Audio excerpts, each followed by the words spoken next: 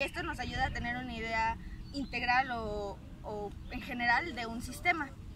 El objetivo final de, la, de nosotros como ingenieros mecatrónicos es diseñar, innovar y fabricar dispositivos que al final del día ayuden al desarrollo de la sociedad, implementando nuestros conocimientos eh, para eh, integrar y también implementar la tecnología eh, especialmente en la, o bueno, una de las aplicaciones más conocidas e importantes de la mecatrónica es en la automatización de algunos sectores y sistemas industriales.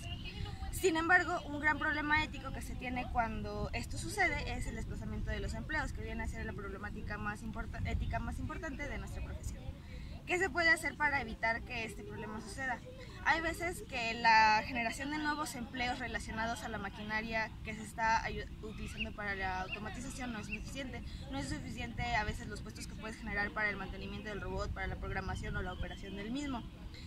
Lo que yo creo que ahí se podría hacer es no solamente quedarte con tu conocimiento e implementarlo, sino también compartirlo para capacitar a las demás personas y que puedan realizar trabajos que los robots no van a poder hacer. En mi punto de vista, la automatización no se trata de desplazar personas solamente, porque sí, sino que es un se busca llegar a un trabajo en equipo entre los humanos y los robots, en el que se complementen sus habilidades para que al final del día se obtenga un mejor resultado y la sociedad pueda crecer y desarrollarse.